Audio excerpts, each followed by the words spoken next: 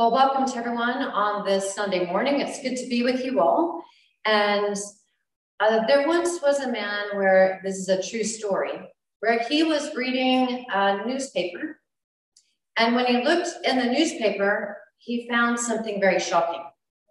He was reading his own obituary, and yet he was still very much alive. And when he read his own obituary, he did not like what he read. If you were to read your own obituary in the newspaper right now, would you be satisfied with what people would read? So he, this is what he experienced. And what had happened was there was a mistake. His brother had actually passed away, and there was really bad reporting. And because of that bad reporting, he began to change his life. And why did he do that? Because he was the inventor of dynamite. He created explosives. In this obituary, it literally called him the merchant of destruction. How would you like to be named like that? He was so devastated with what was said about him that he changed his life forever. This was in 1888. Do you want to know what that man's name was? Alfred Nobel. And out of that, Alfred Nobel created the Nobel Peace Prize so that we are now forever associate, associating his name, his legacy with peace, with excellence. And it's not only just for uh, the Nobel Prize for Peace, but also for physics, chemistry, literature, medicine. Alfred Nobel changed his obituary from the master of destruction to being the creator of peace and prosperity and trying to help everyone lean in to being better.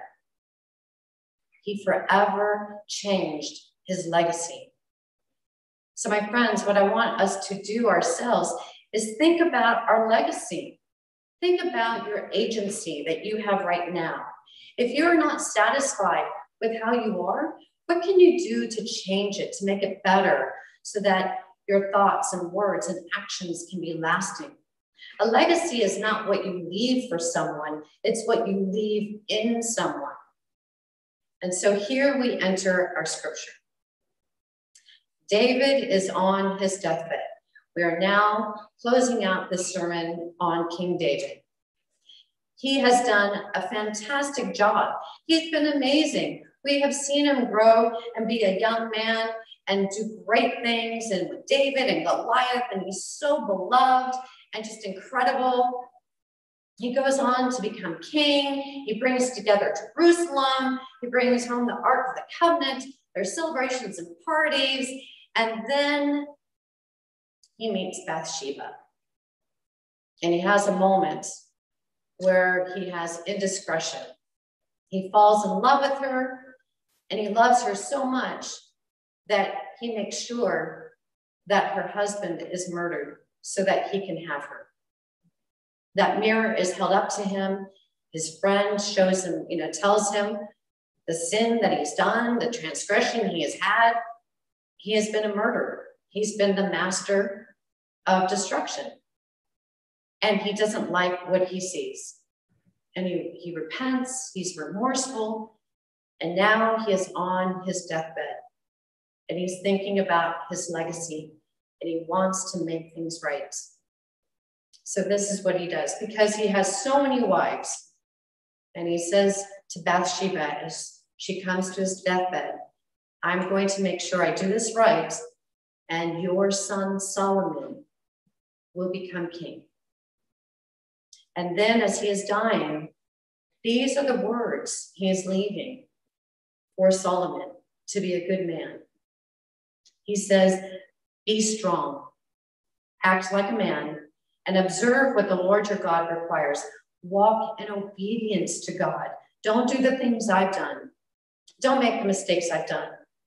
And keep the Lord's decrees and commands, laws and regulations as written in the law of Moses.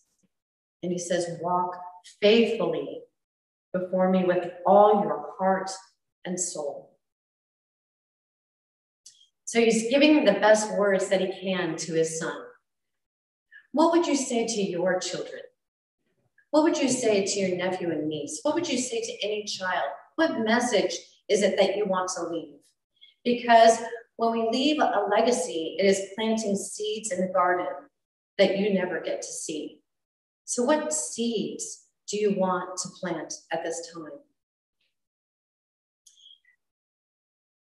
So, Solomon goes on to become king, to follow in his father's footsteps.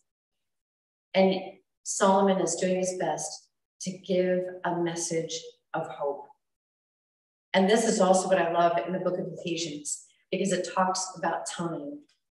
Be careful then how you live, not as unwise people, but as wise, making the most of time. So, my friends, what is it where you need to make the most of time?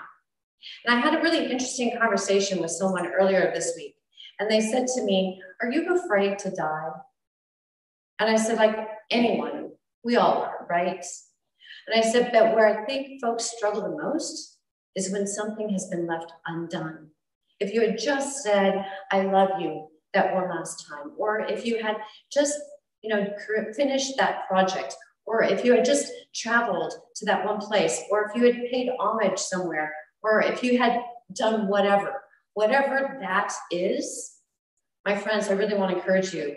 Today is the day. Let's make the most of time because nothing is guaranteed for tomorrow.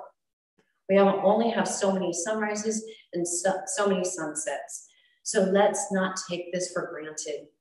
Use today to be the day where you can make change, where you can rewrite your obituary, where you can enhance it or strengthen it, where you can leave a lasting legacy that will make you proud, something where it will bring you peace.